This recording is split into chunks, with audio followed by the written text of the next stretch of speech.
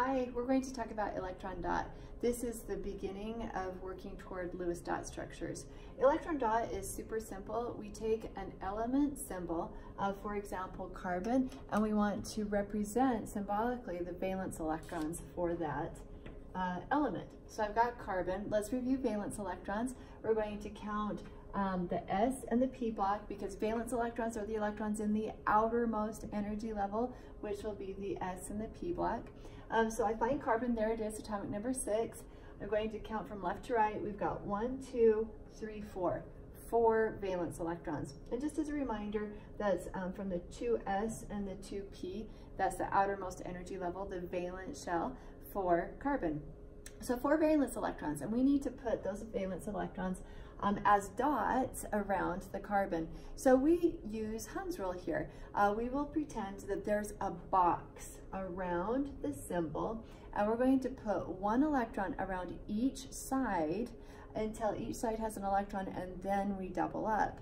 So I've got four valence electrons. It doesn't matter where you start, just out of habit, I start at the top and I go clockwise. So one, two, three, four. There is the electron dot for carbon. Let's do another one. Um, let's take an arsenic right here. So to count the valence electrons. One, two, skip the D, three, four, five. Remember we skipped the D because that's one energy level lower, closer to the nucleus. This is 4s 3D, so 4s 3D, and then back to the 4p out here. So the valence shell is the fourth energy level. That's why you skip that D. So one, two, three, four, five, five valence electrons. We will write the symbol for arsenic, AS, and then five electrons have to go around this. So again, I'm going to do one electron on each side and then double up. So one, two, three, four, now I double up five, okay? Um, so notice I have a pair and then I have uh, these individual unpaired electrons um, on three sides for the arsenic. Okay, let's do another one.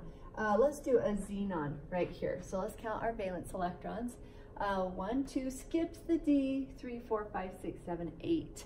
Uh, so I'm going to do xenon and start at the top, put one electron in each side, then we double up. So one, two, three, four. Now you can double up five, six, seven, eight. Okay, this has all paired electrons. We have four pairs of electrons around that xenon. Uh, let's do one more. Let's pretend that you have a rubidium. So rubidium, if we're going to do electron dot, we've only got one valence electron, so we put one electron like that. Okay, there you have it. Electron dot is a good start. Have a nice day.